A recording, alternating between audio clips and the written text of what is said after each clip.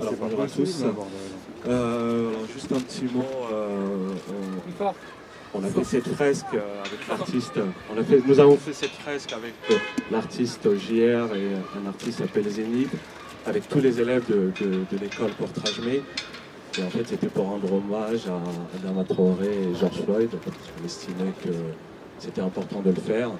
Voilà, c'est un combat qui dure, euh, c'est un combat qui dure depuis, euh, depuis bien longtemps. Assa Traoré, ça va faire 4 ans qu'elle se bat pour que la justice euh, soit, soit faite, que la justice soit rétablie par rapport à la mort de son frère. Moi, ça va faire plus de 20 ans que je me bats et je suis de, de mon permis, que je me bats contre les violences policières. Ça va faire plus de 20 ans que je filme les violences policières dans mon quartier. Il se trouve que 20 ans plus tard, les, les choses n'évoluent pas plus que ça. Donc voilà, cette fresque est là pour rendre hommage à Adama, à George Floyd. Et c'est important que, le- que la justice soit rendue. Et on espère que ce, ce message sera entendu par le président de la République et que, et que la justice fera vraiment son travail. Voilà, merci.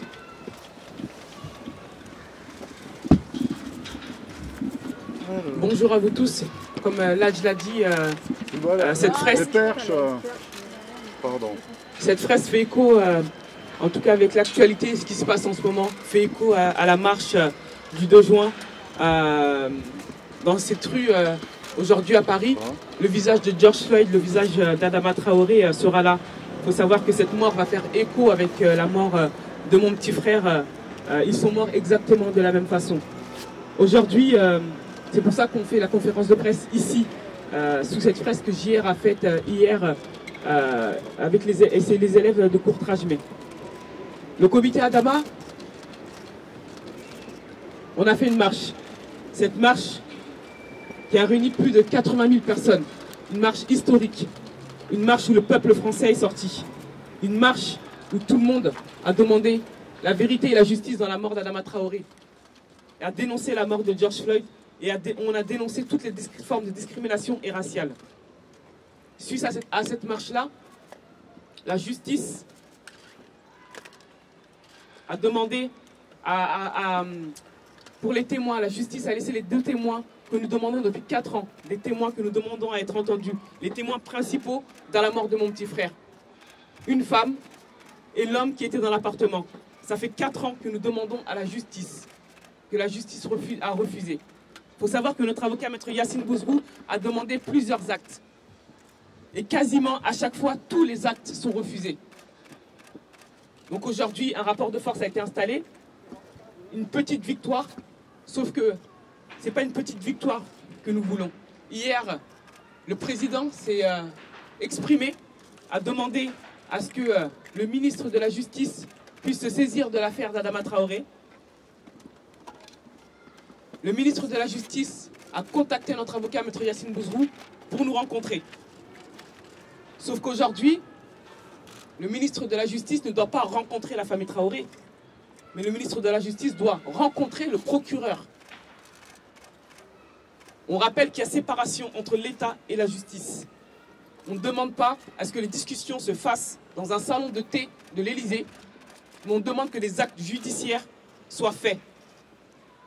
On demande depuis le début que les gendarmes soient mis en examen. La, la ministre de la Justice doit convoquer le procureur et demander des comptes sur l'affaire Adama Traoré et demander la mise en examen des gendarmes. Aujourd'hui, nous sommes dans une guerre d'expertise avec la justice. Toutes les expertises mandatées par la justice vont venir couvrir et innocenter les gendarmes.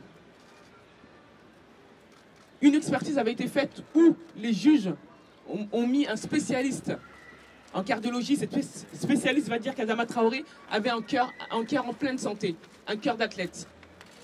La famille Traoré, suite à cette euh, expertise, on va dire qu'Adama Traoré est mort de parce qu'il avait la drépanocytose.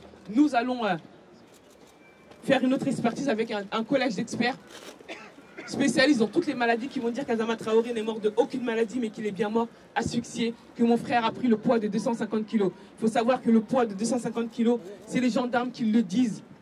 Après la mort de mon petit frère, ils vont le dire dans leur déclaration que Adama a porté le poids de nos trois corps, que Adama a subi un plaquage ventral. Mais les juges ne sont pas satisfaites de ça. Elles vont commander une expertise bidon faite par des charlatans, faite par des experts racistes qui vont nommer Adama Traoré de sujet de race noire. Des experts en gériatrie qui vont venir écarter les propos et les expertises des, euh, des cardiologues. Donc aujourd'hui, nous refusons, nous avons dit, nous l'avons communiqué hier, nous refusons le rendez-vous avec la juge, avec la, ministre de la Justice. Si elle doit rencontrer quelqu'un, c'est le procureur. Si quelqu'un doit être convoqué, ce sont les gendarmes. Ce sont les gendarmes qui doivent être réentendus. Nous demandons une reconstitution. La reconstitution, elle, est refusée depuis 4 ans. Si la, si la justice française, si les juges à Paris n'ont pas peur de la vérité, la reconstitution de l'affaire Adama Traoré doit être faite le plus rapidement possible. Si les juges n'ont pas peur de la vérité, elles doivent nommer des experts spécialistes dans les maladies nommées depuis le début. Nous, la famille Traoré, nous n'avons pas peur du mensonge. Depuis le début, ce sont que des spécialistes que nous prenons. Et nous demandons la reconstitution, que la ministre de la Justice fasse son travail correctement. On lui rappelle qu'il y a séparation entre l'État et la justice. Que s'ils veulent rencontrer la famille Traoré, c'est seulement après des actes. Mon frère est mort. Mon frère, est mort avec des actes. Mon frère n'est pas mort avec des mots. On se souvient hier du nom d'Adama Traoré. C'est un nom qu'on scande depuis 4 ans. 4 ans de lutte, 4 ans de combat, où on demande la vérité et la justice pour Adama. Aujourd'hui, les mots ne suffisent plus.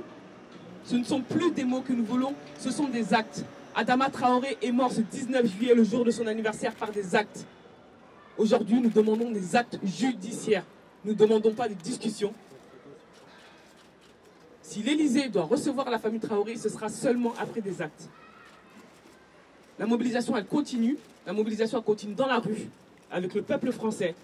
On appelle à une mobilisation nationale ce samedi 13 juin sur Paris. On espère que le peuple sera au rendez-vous, qu'on sera aussi nombreux que mardi dernier. Et s'il faut, chaque semaine, toutes les semaines, nous sortirons dans la rue. Là, elles sont déclarées mais qui s'attendent à ce qu'on fasse aussi des événements qui ne soient pas déclarés et qu'on soit pris et qui soient pris par surprise. Aujourd'hui, nous demandons la vérité et la justice dans la mort d'Adama Traoré. Nous ne demandons pas, nous demandons que ça. Donc rendez-vous samedi prochain dans la rue. Nous demandons à ce que la ministre de la Justice puisse convoquer, en tout cas, se rapprocher du procureur, puisse convoquer les gendarmes et que les gendarmes soient mis en examen et qu'on ait une enquête impartiale et que les actes que notre avocat, Maître Yassine Bouzrou, demande bah, soient acceptés. Aujourd'hui, on ne demande pas une discussion, mais on demande des actes judiciaires. Sur place de la République. Donc voilà, on le rappelle, c'est sur place de la République. Aujourd'hui, une manifestation a lieu.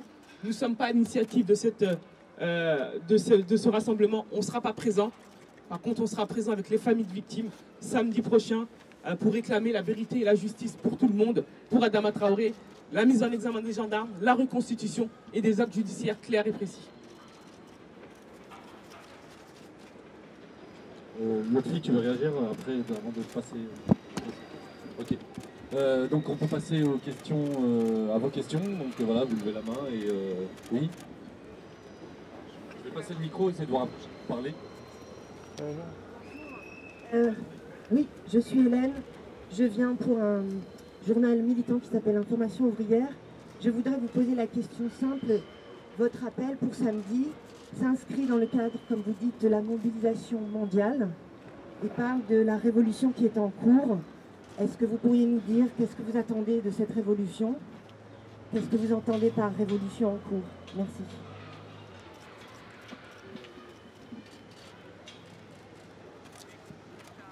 Pendant le confinement, on a beaucoup parlé du monde d'après. Le monde d'après, il a commencé le 2 juin dans les rues de Paris. Le monde d'après, il continue dans les rues de Paris. Et en fait, c'est comme ça qu'on changera euh, le monde et qu'on euh, qu'on aura ce qu'on veut. Donc ça, c'est euh, le monde d'après, c'est sur le terrain. Et c'est vendredi, c'est samedi prochain, le 13. Donc toutes les personnes, en tout cas, qui ont parlé de monde d'après, on les attend tous mobilisés à cette date-là.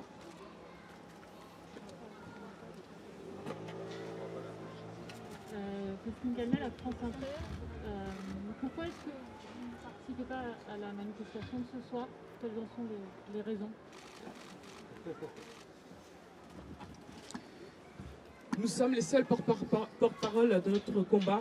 Personne porte nos voix, personne porte la parole de la vérité, vérité juste pour Adama et pour toutes les autres victimes. Euh, juste pour rappeler un fait historique, la marche 83 qui a été récupérée et qu'on a nommée la marche des beurs. Aujourd'hui, personne parle pour nous. Les porte-paroles qui portent nos combats, nous sommes que nous, personne d'autre. Oui, alors par rapport à ce soir, comme l'a dit Assa Traoré, c'est organisé euh, par une organisation qui a déjà fait un coup dans l'histoire des luttes euh, de l'immigration. Le comité Adama s'inscrit dans l'héritage des luttes euh, de l'immigration depuis les années 70, depuis les années 80, notamment la marche pour l'égalité et contre le racisme, qu'on a effectivement mal, mal renommé la marche des beurs. Donc il y a eu un détournement de cette histoire, un détournement d'une parole politique et on ne laissera pas refaire cette fois-ci. Donc non, on ne participera pas ce soir. On le dénonce même comme une tentative de récupération. C'est un rassemblement qui se fait sans les familles de victimes. C'est un rassemblement qui se fait même sans évoquer euh, ce qui se passe en France, puisqu'on ne parle que de ce qui se passe aux États-Unis. Donc c'est une nouvelle violence que les familles de victimes et que les militants doivent subir à nouveau. Donc on ne laissera pas 83 se refaire. Nous avons appris des erreurs de nos ennemis. Merci.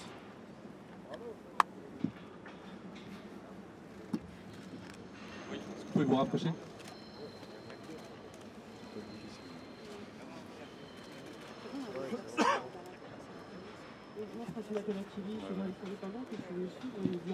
J'ai une question très claire. On a eu, euh, ça fait 4 ans que vous luttez. Euh, François Hollande est passé à côté. Emmanuel Macron semble vous trembler un petit peu. Vous avez justement euh, refusé de recevoir, ce titre, d'aller voir la ministre de la Justice. Est-ce que c'est une affaire d'État? Attendez pas seulement des paroles, mais des actes forts. quels sont les actes que vous attendez maintenant de la part du président Emmanuel Macron qui doit réagir? Merci.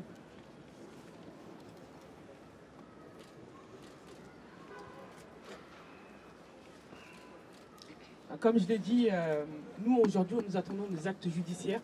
La ministre de la Justice, euh, si elle doit rencontrer quelqu'un, c'est le procureur, c'est pas la famille Traoré. Et nous attendons des actes judiciaires forts. Tous les éléments sont là. Nous demandons à ce que les gendarmes soient reconvoqués, soient réentendus, puissent répondre à nos questions. Il y a des questions euh, qui restent en suspens. C'est nous qui demandons une réponse à ces questions-là. Pourquoi ce jour-là court-il après Adama Traoré? Pourquoi ce jour-là Adama Traoré subit un plaquage ventral et porte le poids de 250 kg Pourquoi ce jour-là Adama Traoré n'est pas, ramené à l'hôpital alors, alors qu'il passe juste devant l'hôpital?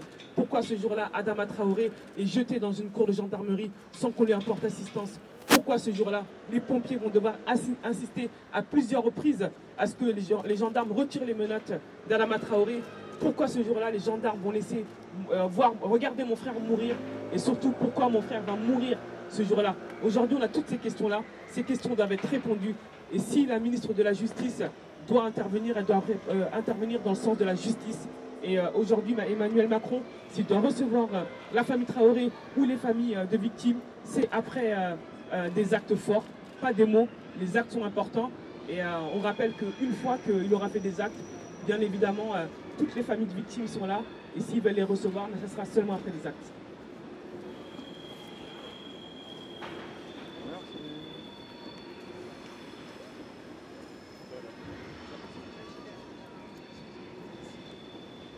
Bonjour, Marie Casabobé de Radio France Internationale. Euh, hier, le ministre de l'Intérieur, Christophe Castaner, a fait des annonces euh, pour lutter contre les violences policières et les violences racistes. Je voulais savoir si vous aviez suivi ces annonces-là et comment vous réagissiez. Est-ce que ça allait justement dans le sens de votre combat?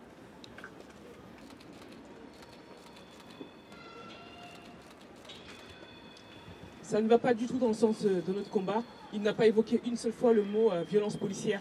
Il y a de la violence policière en France et ça, faut que euh, l'État l'entende. Nous sommes dans un... C'est systémique. Hein. Nous sommes dans un État qui va couvrir euh, à chaque fois euh, les policiers. Nous sommes dans un État qui va couvrir l'impunité policière. Qui va couvrir l'impunité policière. Donc non, ça ne va pas dans, notre sens. Aujourd'hui, nous attendons à ce que l'État fasse son travail correctement. en tout cas, il puisse ne pas ignorer le mot violence policière et ne pas dire qu'il n'y a pas de racisme dans la police. Bien évidemment, il y en a. Euh, quand on, il parle des, audios qui vont sortir euh, suite aux propos racistes, j'ai envie de dire que ça fait des années que ces propos racistes sont dénoncés par des victimes depuis, et que ça sorte maintenant et qu'on a attendu qu'il y ait plusieurs morts, plusieurs violences, plusieurs mutilations. Pour, moi, euh, c'est très grave. Donc les déclarations d'hier euh, nous ne suffisent pas. Quand il demande, quand il dit que la clé d'étranglement euh, sera interdite, il faut savoir qu'il ne, ne, vient pas nous sauver. Il ne vient pas nous sauver. Vivolé a fait un travail de pendant 10 ans avec le MIB pour que ces techniques d'immobilisation soient interdites. Il aurait dû les écouter depuis longtemps. Mon frère ne serait pas mort, Lamine Dieng ne serait pas mort, Ali Ziri ne serait pas mort, et tant d'autres. La liste, elle est très longue. Donc, euh, c'est pas notre sauveur. Par contre, euh, nous, euh, les actes, on va les demander et continuer dans la rue. Et s'il y a des interdictions qui, doivent être faites, ce sont, ce toutes les interdictions de, ces techniques. ce matin, il a dit euh, sur BFM TV que le plaquage ventral n'existait pas en France. C'est une honte euh, de dire de telles choses. Mon frère est mort suite à un plaquage ventral. Donc euh, nous, ces euh, déclarations hier ne nous ont pas du tout satisfaits. Et c'est pour ça qu'on va dans la rue samedi.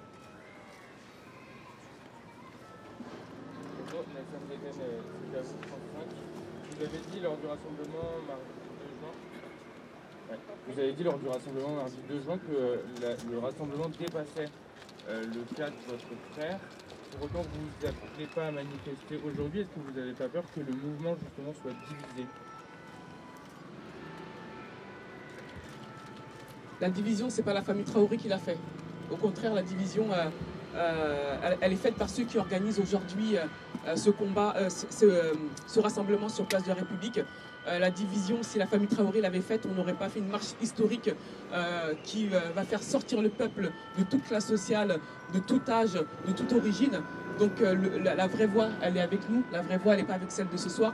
Par contre, la division, il faut la pointer sur ce doigt-là. Et comme l'a rappelé Youssef Brakni, membre du comité Adama, quand on fait un rassemblement et qu'on ne parle pas de ce qui se passe en France et qu'on qu parle de ce qui se passe aux États-Unis et qu'on ne fait même pas appel euh, sur la marche des familles victimes, bah, c'est une honte. Nous n'avons pas été contactés, non. Donc la division, euh, il, faut la, il faut la pointer dans l'autre sens. Et je pense qu'aujourd'hui, quand une, les familles de victimes font un appel à un rassemblement, euh, à une mobilisation, elle ne doit pas être portée euh, par une autre voix et surtout une voix euh, qui va parler euh, de ce qui se passe euh, autre part que pas dans leur pays.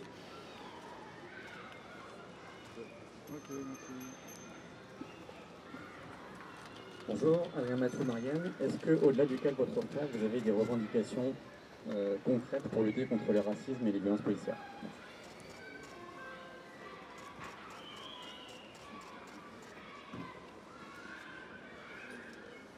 Moi, ce que je veux dire, déjà, je ne suis pas une élue de la République. Par contre, euh, les seules revendications qu'on va faire, ce sont les revendications euh, que les familles exigent. Et aujourd'hui, nous demandons euh, à ce que toutes les techniques d'immobilisation soient interdites, formellement interdites. Plusieurs pays euh, euh, frontaliers l'ont interdite, plusieurs États aux États-Unis l'ont interdite. La France continue de la pratiquer. Malheureusement, euh, les personnes non blanches en meurent, nos frères en meurent. Nous demandons à ce que la police française soit réformée et qu'une formation, en tout cas, soit faite. Nous demandons à ce que l'IGPN, l'IGN aussi soit dissous et soit fait par des corps extérieurs et qu'on sorte de cette impunité policière et qu'il y des vraies enquêtes soient faites parce que nos frères meurent de tout ça. Nos frères meurent de ces impunités policières, de ces fausses enquêtes qui ne sont pas faites et qui sont faites par leurs corps eux-mêmes et surtout les techniques d'immobilisation euh, pour nous, c'est très très important. Donc ce sont les revendications euh, qu'on puisse faire. Et bien évidemment, nous dénonçons euh, tous les propos racistes et les, et les, comportements déviants, violents et racistes de ces policiers. Et que ces policiers, en tout cas, puissent ne plus exercer. moi, je les appelle les brebis galeuses. On entend souvent dire qu'il y a des bons policiers. Moi, j'ai envie de dire que quand mon frère va mourir, mon frère meurt dans une caserne de gendarmerie. Dans cette caserne de gendarmerie, il n'y a pas que trois gendarmes. C'est une caserne de gendarmerie remplie de gendarmes.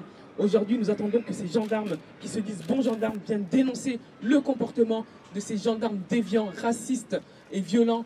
Euh, nous, attendons à ce que ces policiers euh, qui se disent bons policiers viennent dénoncer le comportement de ces policiers qui sont déviants, euh, violents, racistes et qui emmènent à la mort. Et peut-être qu'on arrivera à changer quelque chose parce que nous, euh, les familles de victimes, on est là pour dénoncer, mais c'est un combat qu'on ne pourra pas euh, faire seuls. Par contre, si eux ne le cassent pas de l'intérieur, ça c'est important. Donc on les appelle en tout cas à venir mettre le, euh, genou à terre et lever le poing samedi 13 et qui viennent en tout cas le dire que nous sommes des bons policiers et qui dénoncent les mauvais policiers. Mais ça c'est très dur en France pour l'avoir. Donc on est, encore très loin de ce cas de configuration.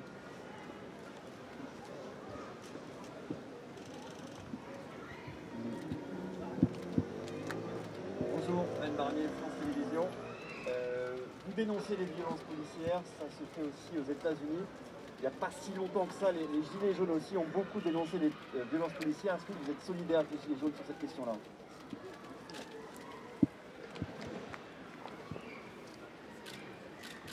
J'ai envie de dire qu'il faut que ce soit les Gilets jaunes qui soient solidaires avec les quartiers populaires, pas dans l'autre sens. Euh, les violences policières, elles commencent euh, dans les quartiers populaires. Bien évidemment, c'est un combat que nous portons ensemble. Et quand le comité Adama a fait appel euh, dès le deuxième acte pour aller dans la rue, c'est surtout pour rappeler le fait historique et euh, dénoncer ce qu'on dénonce depuis des années. Il y a eu des luttes dans nos quartiers, il y a eu des mouvements dans nos quartiers et que les violences policières, elles commencent dans nos quartiers. Nous, on n'a pas besoin d'aller manifester dans la rue pour que la violence, elle vient à nous. Donc oui, euh, il, y a, une solidarité et c'est surtout la solidarité des Gilets jaunes envers les quartiers populaires et de dénoncer le premier comportement, c'est le comportement de, nos frères, de ces jeunes hommes qui meurent dans la, rue. Et euh, bien, cette machine de guerre qu'on a en face de nous, c'est la même. C'est une machine de guerre qui n'a ni sentiment, ni état d'âme, ni remords, où tous les coups sont puissants, où euh, il n'y a pas où il y a la justice euh, et les prisons. Donc oui, il faut la renverser cette machine de guerre. Comme je l'ai dit, nous sommes tous devenus des soldats malgré nous, donc on y va ensemble.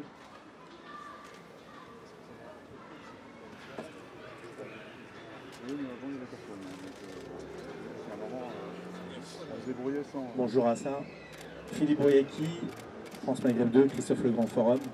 Les médias n'ont pas été tendres avec vous ces dernières années et ces dernières semaines, certains médias mainstream donnent la parole aux plus immondes, aux ceux qui sont censés représenter notre République, la République de tous les Français et de toutes les Françaises, et qui pointent une partie qui salit le nom d'Adama et de la famille Traoré.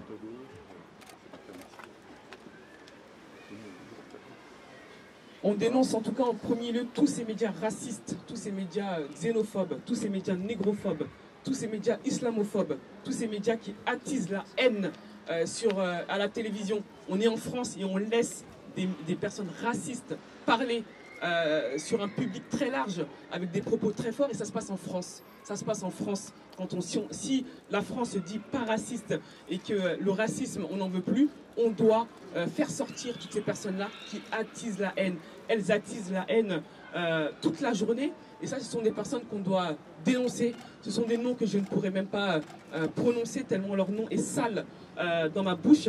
Mais ce sont en tout cas des personnes qui sont sur, une des télévisions françaises et qui continuent à attiser la haine. Et j'ai envie de dire, s'ils continuent à parler de la famille Traoré, c'est qu'on leur fait beaucoup de mal. Bah, ils vont nous voir longtemps au devant de la scène et dans la lutte vérité-justice pour Adama et pour tous les combats. Mais par contre, il faut savoir qu'aujourd'hui, bien évidemment, on manifeste euh, samedi pour dénoncer tout ça, mais il va arriver un moment où euh, les manifestations iront sûrement dans un autre sens et on ne laissera pas ces personnes racistes attiser la haine. Parce que quand on est euh, sur un plateau télé et qu'on dit, on appelle la police à tirer à balles réelles sur des jeunes de quartier populaire, c'est scandaleux, c'est très grave. On appelle au crime, on appelle au meurtre d'une population française et ça se passe en France. Et donc, il faut dénoncer tous ces comportements-là. Et ça, c'est le travail de tous les autres journalistes. Euh, quand on dit, quand les policiers parlent de, dire que nous sommes des bons policiers, bah, j'ai envie de dire dénoncer euh, les mauvais policiers. Bah, quand on dit qu'on est des journalistes, bah, dénoncer euh, ces journalistes qui sont là et surtout pas leur laisser une chaîne grand public et attiser la haine dans ce pays qui se dit liberté, égalité, fraternité et qui se dit surtout démocratique. Donc oui, euh, le racisme est euh, là sur la télé française et c'est scandaleux, c'est honteux.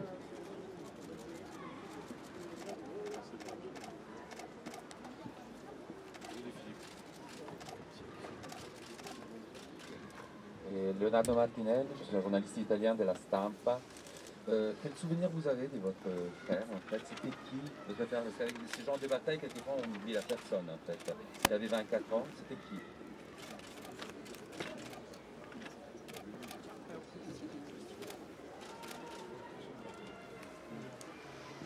C'est pour ça que la famille Traoré, euh, quelques mois après la mort de mon frère, tout de suite, on va écrire un livre qui s'appelle Lettre à Adama. Parce que, euh, que ce soit mon frère ou toutes les autres familles de victimes, il faut savoir que quand nos frères se font tuer, euh, nos frères ne sont plus des victimes. Les gendarmes, les policiers vont devenir des victimes. Nos frères vont devenir des coupables. On va criminaliser le, la, famille, on criminalise une famille entière. Et euh, la, le, Adama Traoré, son histoire ne commence pas le 19 juillet 1992, mais elle, euh, euh, 2016, pardon. Elle commence le 19 juillet 1992 avec toute une histoire, avec toute sa famille.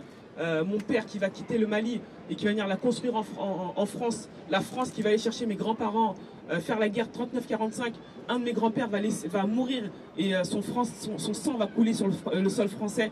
Un de mes grands-pères va repartir avec une jambe en moins. Ça, c'est l'histoire d'Adama Traoré. Et quand mon frère va mourir, mon frère va mourir sur le jour de son anniversaire, sur un jeune âge où il avait tout à construire, il avait tout à penser. Mon frère était fan de football. Il, euh, il a été même en Italie où il suivait ses équipes de foot préférées à travers l'Europe. Donc aujourd'hui, voilà, c'est un rêve qu'on a pu enlever à mon frère. c'est surtout de vivre.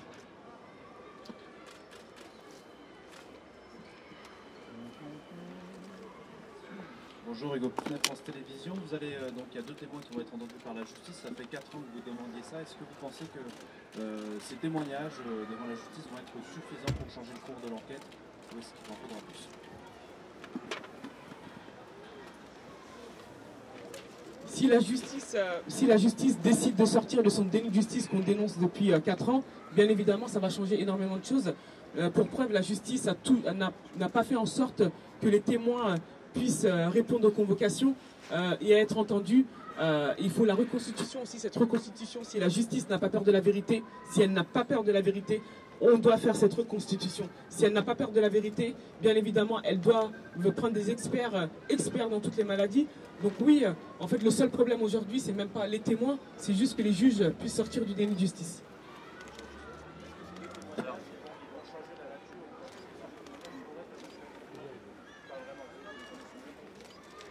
Oui, clairement, euh, il y, y, a des choses qui vont être communiquées par la, par la suite. Et ça va changer énormément de choses. Euh, il faut juste rappeler une chose, c'est que... Vous m'entendez ou pas? Ça marche plus? 1, 2, 1, 2, ouais. Il faut juste rappeler une chose, c'est que sur la question de la reconstruction aussi, c'est fondamental. Parce qu'il faut savoir... Vous m'entendez là? Il faut savoir que le parquet de Paris demande la reconstitution. L'IGGN, donc les gendarmes eux-mêmes demandent la reconstitution. Pourquoi ces trois juges refusent de faire une reconstitution Quand il y a eu l'expertise de synthèse en septembre 2018, que cette expertise de synthèse a dit qu'Adama Traoré était mort de la drépanocytose, de la sarcoïdose. La famille Traoré n'a pas eu peur de la vérité. La famille Traoré a été chercher le plus grand expert de drépanocytose français. Il a publié des centaines d'ouvrages sur la drépanocytose. C'est un éminent médecin reconnu de tous. Il est reconnu mondialement. C'est pas nous qui le disons, c'est même Nicolas Chaput du journal Le Monde qui le dit, qui dit que c'est un éminent expert. Il est anonyme pour les raisons que vous savez, mais c'était le meilleur. La famille Traoré n'a pas eu peur. Il a rendu une expertise. Il est catégorique. La drépanocytose ne peut pas avoir entraîné la mort d'Adama Traoré. La seule chose qui a pu entraîner la mort d'Adama Traoré, il le dit noir sur blanc, c'est la position dans laquelle il a été maintenu plusieurs minutes. Et aujourd'hui, que le monde entier a vu la vidéo, que le monde entier a vu comment George Floyd a été tué, cette agonie de 8 minutes, on sait maintenant, on a une image concrète de la façon dont est mort Adama Traoré. Moi, j'aimerais qu'on humanise cette famille. J'aimerais qu'on se mette à la place de cette famille.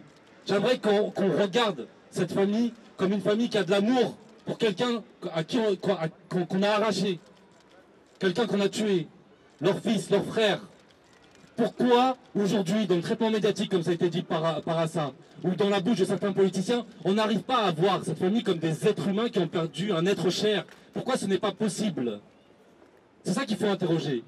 Pourquoi, quand cette jeunesse est sortie le mardi 2 juin, pourquoi on ne la voit pas comme la génération climat? Pourquoi tout le monde a applaudi quand des jeunes blancs se sortent dans la rue pour le climat qu'on a appelé ça la génération climat? Pourquoi on a montré tout de suite du doigt cette jeunesse qui est sortie le mardi 2 juin?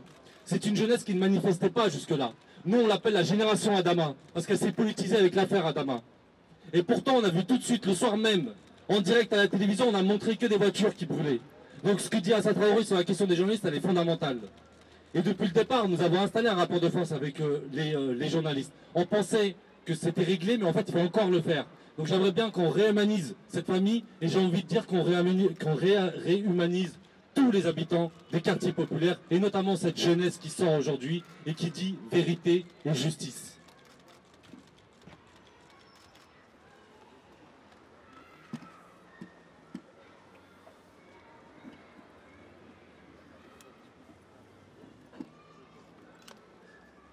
je, pardon, bonjour, bonjour Fatouma Tabachili, euh, journaliste indépendante. Je rebondis sur votre question parce qu'effectivement, chers collègues, on a nous-mêmes euh, des questions à se poser sur le traitement euh, des quartiers populaires, des banlieues, etc. Mais ça, c'est un discours qui date d'il y a des décennies. sur cette jeunesse, moi je vois le réalisateur Ladjili qui est à côté de vous, je suis ravie de sa présence. Et vous avez fait un film coup de poing, un film qui est fort, qui a été salué par la critique, qui a été salué en France, qui a été salué à l'international, avec une question latente sur qu'est-ce qu'on transmet finalement à cette jeune génération d'enfants français Qu'est-ce qu'on leur transmet? Est-ce qu'on leur transmet de la haine? Est-ce qu'on leur transmet de l'amour? Et quand on voit effectivement qu'il y a énormément de jeunes justement baptisés la génération Adama, quel est le message que vous portez? Qu'est-ce que vous dites aujourd'hui, s'il vous plaît? Merci.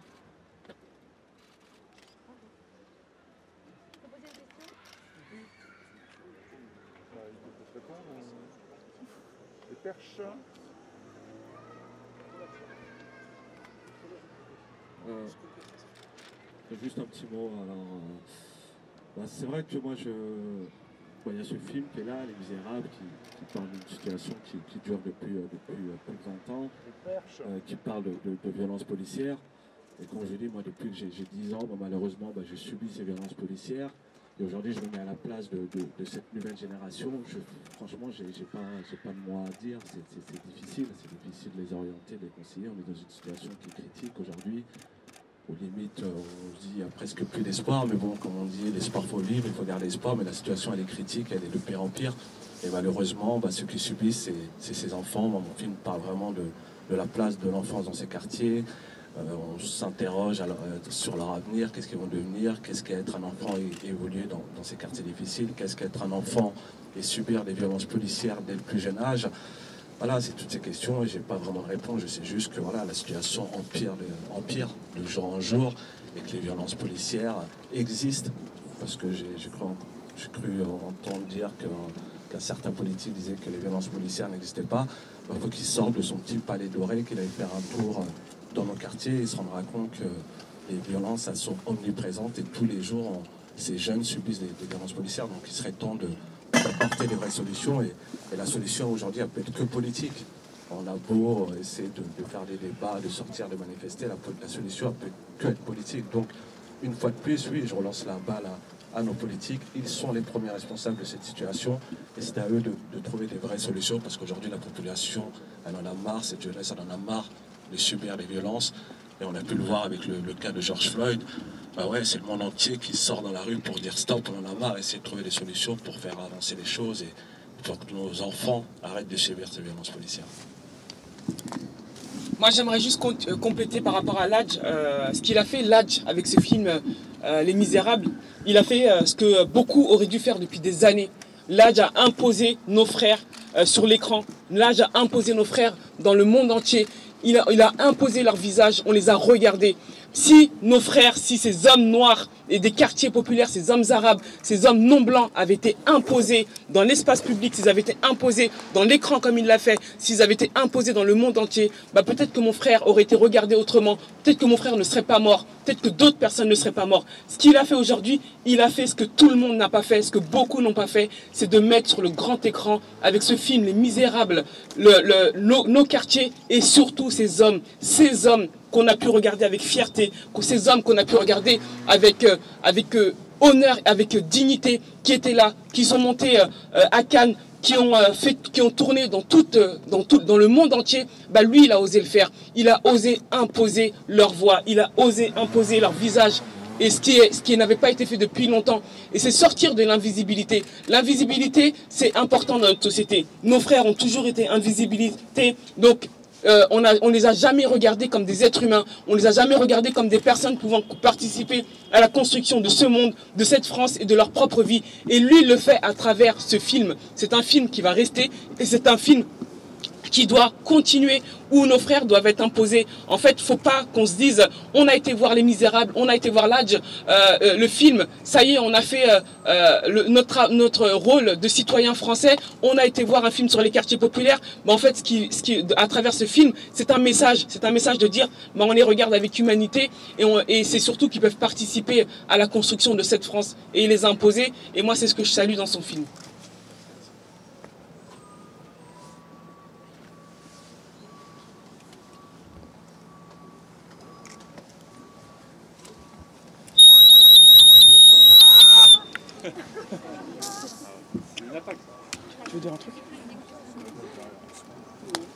Bonjour, euh, Michel Garci, journaliste indépendant.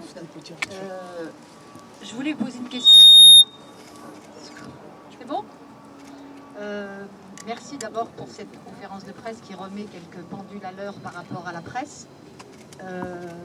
parce qu'il y a effectivement le traitement politique, c'est-à-dire le non-traitement de ce qui vous arrive, et comme vous l'avez dit, la déshumanisation absolue, et il y a le traitement médiatique. Ici, il y a beaucoup de journalistes, de plein de médias, euh, comme je suis beaucoup ce qui se passe dans les médias, que je fais un travail critique sur ce qui se passe dans les médias, je voudrais attirer l'attention qu'il n'est plus du tout jamais possible de faire du, euh, comment dire, euh, de mettre sur le même plan les victimes et les bourreaux. Si je prends par exemple le Parisien, le Parisien est un spécialiste, un spécialiste absolu, c'est devenu le porte-parole de l'institution policière, systématiquement, ils remettent en cause, même quand il y a des vidéos où on voit très clairement ce qui se passe, systématiquement, ils remettent en cause la version des victimes et systématiquement, ils, donnent la, ils, mettent, ils mettent l'institution policière au-dessus. Si je prends le journal Le Monde, dans lequel j'ai travaillé, donc je connais très bien, il y a un autre paradigme qui est euh, la soi-disant, vous savez, objectivité. C'est-à-dire, euh, eh ben, il y a d'un côté la version de la police, et puis de l'autre côté la version des victimes. Jean-Luc Godard appelait ça euh, la... Euh, je ne sais plus, il disait l'objectivité c'est 5 minutes pour les juifs, 5 minutes pour Hitler. On est exactement dans ce paradigme-là. C'est-à-dire que l'objectivité, c'est effectivement pas 5 minutes pour les victimes, 5 minutes pour l'institution policière, on boucle le papier et comme ça, le lecteur se démerde. Donc là, moi, je, franchement, je fais un appel à la presse qui est là. Il est plus possible de traiter les violences policières, qui sont des violences structurelles, qui sont des violences d'État, il y a quand même 20 morts dans ce pays qui meurent par an, essentiellement des jeunes noirs et des jeunes arabes. Il y en a eu 10 pendant le confinement, pendant un mois. Est-ce que la presse a documenté là-dessus? La presse est capable de dire qu'aux États-Unis, il y a un racisme systémique. Ils sont capables de faire des enquêtes. Mais est-ce qu'ils sont capables de dire qu'en France, il y a un racisme systémique? C'est nouveau. Depuis effectivement la réussite de la marche du 2, on voit des journaux, y compris BFM, qui acceptent le terme racisme systémique. Mais quand même, on voit que trois jours après, ça recommande, oui, mais la police n'est pas raciste, c'est pas un problème, il y a juste des brebis galeuses, mais sur le fond, euh, la police n'est pas une institution raciste. Il faut mettre à bas, et là je m'adresse aux journalistes, ce discours qui est un, discours mensonger, des contre-vérités totales, et il faut fondamentalement écouter la parole des victimes. Et là encore, c'est vraiment ce que je veux faire, c'est un appel à la presse, quoi. Il faut plus suivre ces dérives. Il faut aller dans les quartiers, il faut donner la parole aux victimes, il faut écouter ce qu'elles disent, il faut filmer ce qu'elles disent, et il faut arrêter de faire 50-50. Il y a l'institution policière et il y a les victimes. Merci. Attends, attends. J'en profite rapidement euh, pour votre interpellation. Donc, euh, au nom du comité, j'ai eu l'occasion d'avoir un entretien avec le nouveau directeur général de la police, donc qui a bien sûr, euh, Plus fort. qui a bien sûr affirmé que la police française n'était pas raciste. Et malheureusement, le Parisien n'a pas inscrit nos réactions, parce qu'il y avait six lecteurs face au directeur général de la police. Et quand euh, ce journal est sorti la semaine dernière, donc il est sorti euh, jeudi, il est sorti mercredi, le, journal est apparu euh, mercredi, et jeudi, nous avions les audios de ce fameux groupe de policiers racistes, qui a été diffusé très largement par Mediapart et d'autres médias, Street Press. Et Hassan l'a précisé tout à l'heure, tant que nous aurons des responsables des différentes institutions françaises assumer un déni profond vis-à-vis du racisme, vis-à-vis des violences, vis-à-vis des discriminations, Et j'ai envie de dire, vis-à-vis des comportements qui, pour moi, ne reflètent pas ce que la France cherche à représenter aux yeux du monde. Un pays libre, un pays fraternel et un, pays soi-disant juste. Les politiques parlent souvent de pays de droit. Eh bien, aujourd'hui, et depuis de nombreuses années, les pays étrangers, l'international se rend compte que la France n'est pas ce qu'elle dit, ce qu'elle raconte au niveau diplomatique. Ce sont des menteurs. Donc effectivement, les politiques que nous avons aujourd'hui, malheureusement j'ai envie de dire nous les méritons, mais nous avons à la tête du pays des irresponsables. Ce sont eux qui, provoquent ces, divisions, ces prétendues divisions, ce sont eux qui, qui laissent des individus attiser la haine. Et aujourd'hui, vous avez une jeunesse qui commence à prendre conscience, qui a commencé à prendre conscience qu'il faut faire bousculer les choses à tous les niveaux.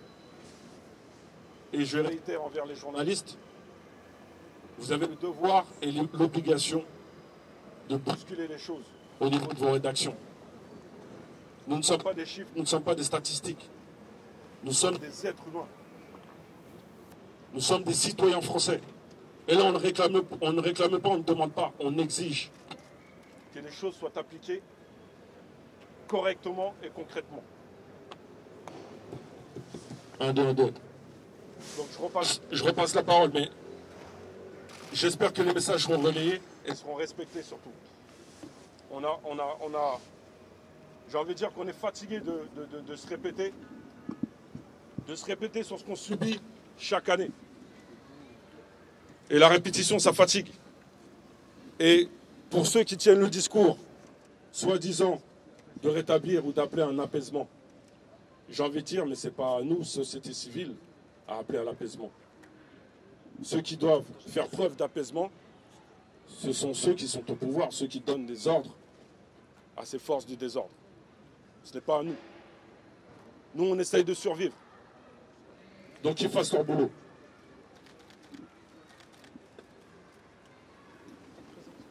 Euh, moi, c'est Youssouf, Youssouf Traoré, le frère d'Adama. Et euh, pour savoir qu'après la mort d'Adama, dans notre quartier, il y a eu plusieurs euh, personnes qui ont été incarcérées. Ils nous fuient tous les jours. Alors que c'est nous, pour nous, pour nous c'est nous les victimes. C'est pas eux les victimes. eux, ils se mettent en tant que victimes. Nous, on reçoit des lettres de menaces chez nous, chez notre mère. Donc, c'est qui qui nous protège d'eux aujourd'hui nous, on se bat aujourd'hui, ça fait 4 ans. Là, il y a mon frère Bagui, ça fait 4 ans, il est en prison. Il l'accuse sur des faits qu'il n'a pas commis. Et euh, aujourd'hui, s'il n'y a pas Bagui, bah, le combat, on ne peut pas le mener sans lui. Donc il faut absolument sa, liberté. Et euh, il y a plusieurs de mes frères aussi qui ont été incarcérés, qui sont sortis il n'y a pas très longtemps de ça. Donc moi, je ne comprends pas aujourd'hui, les gendarmes ont tué mon frère, mais c'est nous qui allons en prison. Donc euh, nous, on demande simplement la justice et la vérité pour nos frères. Il faut savoir qu'aussi dans notre quartier, ils ont mis pas mal de caméras. On, demande pourquoi, on se demande pourquoi. Hein. Parce que nous, on a un quartier assez tranquille. Hein. C'est tranquille. Si aujourd'hui, notre quartier est devenu comme ça, c'est à cause des gendarmes. Il faut pas oublier aussi le maire de chez nous, qui s'est mis du côté des gendarmes directement. Même les condoléances, il ne les a pas fait à la famille. Donc aujourd'hui, on demande simplement la vérité pour Adama et la liberté pour Bagui.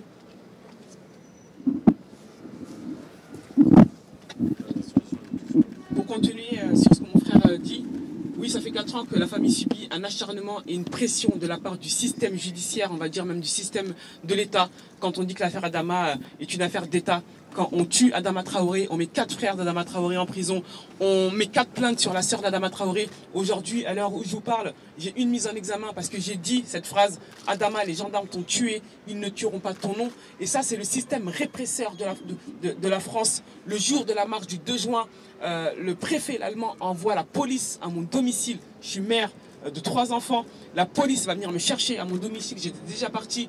Euh, des, pressions deux heures avant le rassemblement sur les réseaux sociaux, c'est ce côté, répressif qu'on dénonce et l'acharnement qu'on subit depuis 4 ans. Mais on est encore là, on ne se laissera pas faire.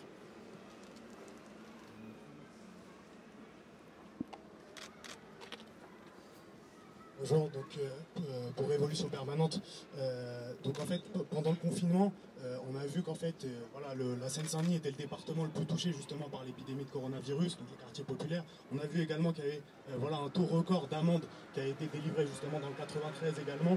Est-ce qu'aujourd'hui le combat que vous menez, et justement que voilà, des milliers de jeunes reprennent dans la rue, etc., contre le racisme les violences policières, est-ce que justement c'est pas aussi, s'inscrit pas dans le prolongement de cette crise sanitaire voilà, et de sa gestion catastrophique par le gouvernement? On avait vu aussi des révoltes dans les quartiers à ce moment-là. Donc voilà, comment vous, vous faites le lien entre voilà, cette question-là et aujourd'hui combat que vous menez pour la justice et la vérité pour Adama bah, C'est même pas lié, hein. c'est une continuité de ce qu'on vivait déjà et, et ce qu'on a vécu pendant le coronavirus. Mais j'ai envie de dire qu'après le Covid-19, le peuple français euh, ne regardera plus les choses de la même façon, n'écouteront plus les choses de la même façon, ne consommeront plus les choses de la même façon. Et la preuve, le 2 juin, euh, ils sont dans la rue, le peuple français sort dans la rue, toute classe sociale va venir, ils ne resteront plus passifs. Euh, et aujourd'hui, ce Covid-19, quand on dit le monde d'après, bah, le monde d'après, c'était le 2 juin dans les rues de Paris. Et c'est comme ça. Et c'est là qu'on va dénoncer, c'est là qu'on va se soulever en même temps que le monde entier et qu'on va changer les choses. Donc bien évidemment, c'est un lien et on le dénonce et on continue à le dénoncer euh, euh, sur nos réseaux sociaux. Euh, je pense qu'on va conclure ici. Donc voilà, juste pour dire quand même, voilà, parce qu'on a des journalistes ici, nous aujourd'hui, s'il y a autant de journalistes, je pense c'est parce qu'en fait on a su, grâce à un travail politique, militant, de longue haleine, on n'a pas compté nos heures, on a sacrifié nos week-ends, où en fait on a déployé une énorme énergie sur tous les réseaux sociaux sur Instagram, sur Twitter, sur Facebook. Aujourd'hui, on peut faire euh, jeu égal. Il faut savoir que l'appel d'Assa Traoré à venir manifester le 2 juin a été vu par plus de 1 million de personnes sur Instagram. Et je ne compte que Instagram, je ne compte pas Facebook, je ne compte pas Twitter, etc. Donc aujourd'hui, on peut faire arme égale, j'ai envie de dire. Donc voilà, c'est grâce à tous nos soutiens, c'est grâce à cette génération Adama, comme je l'ai appelé tout à l'heure, la génération Adama, cette jeunesse qui s'est politisée avec euh, le comité Vérité et Justice pour Adama Traoré, avec tous les autres comités également. Il faut savoir qu'aujourd'hui, bon, ils n'étaient pas là, mais le 2 juin, ils étaient avec nous. Il y avait plusieurs familles de victimes pour Ibrahim Abba, pour Lamine Dieng, pour Sabri Argenteuil. Donc, euh, pour. Euh, il y avait qui encore ce jour-là? Lamine Dieng, ça je l'ai dit. Awa Gay de, de Rennes. Donc voilà, bref, il y en avait plusieurs. Samedi, il y en aura encore d'autres. Il y en a même qui vont venir de province. Donc voilà, c'est un travail collectif. Je le répète, on ne vient pas de nulle part. On a une histoire, l'histoire de nos grands-parents en Afrique qui se sont libérés du colonialisme. Aujourd'hui, nous, on est dans leur pas, on est dans leur lignée, celle de nos grands frères dans les années 80, celle de nos parents dans les années 70. Voilà, on n'est pas le produit de rien. Il faut toujours le rappeler, il faut toujours sans cesse le marteler. Nous sommes les héritiers d'une grande histoire de lutte et nous allons la poursuivre samedi 13 juin dans les rues de Paris avec toute cette génération Adama, tous les quartiers populaires et toutes, comme l'a dit Assa Traoré, toutes les composantes du peuple français. Tu veux dire Place de la République.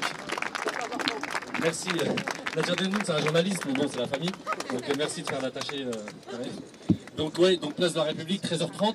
On va faire une marche, on va aller vers Opéra. Donc comme par hasard, aujourd'hui, Castaner vient de dire qu'on ne peut pas interdire les rassemblements. Parce que évidemment, ce soir, il y a tous les partis politiques, il y a SOS Racisme, etc., qui se, qui se rassemblent. Donc là, il, ne dit pas que c'est interdit, il vient de le dire, je viens de le lire, donc il dit que c'est autorisé. Donc ils ont vraiment intérêt à, à, laisser, à nous laisser, à laisser euh, euh, le rassemblement, en tout cas la manifestation, se faire.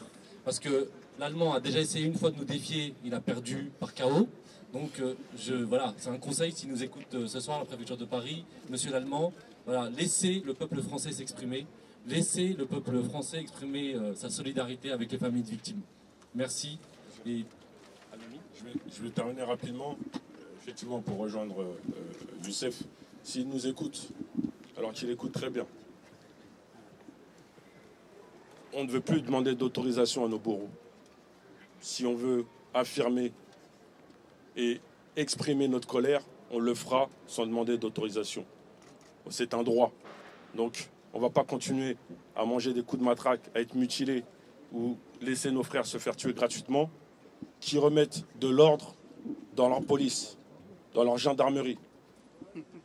Donc, on ne demande plus d'autorisation. S'ils veulent de l'apaisement, qu'ils fassent preuve à leur niveau et qu'ils montrent l'exemple. C'est à eux d'être exemplaires. Ce sont eux les violents. Ce sont eux les racistes. Ce sont eux qui nous méprisent. Nous, on est bien ensemble. Et ça, il faut le souligner, on est bien ensemble. C'est eux qui attisent la haine. Donc, pour le moment, on est tranquille, on reste gentil, mais les prochaines opérations, les prochaines actions, on ne demande plus d'autorisation. Merci à tous. Et juste pour finir, comme chaque année, le comité Adama, on fait une tournée des quartiers populaires. On se rend à chaque fois dans les quartiers, c'est moins médiatisé, il y a moins de caméras forcément. Mais en tout cas, tous les ans, nous, c'est notre axe prioritaire. On, a toujours euh, tenu cette ligne depuis 4 ans. On va à chaque fois au Muro, à la Goutte d'Or, euh, à Clichy, à Saint-Denis, etc. Et donc cette année, on repart aussi dès la semaine prochaine euh, dans tous les quartiers populaires d'Île-de-France. On va essayer un peu ailleurs, mais on refait comme chaque année depuis 4 ans. Voilà. Merci à toutes et à tous. Et puis à samedi dans la rue.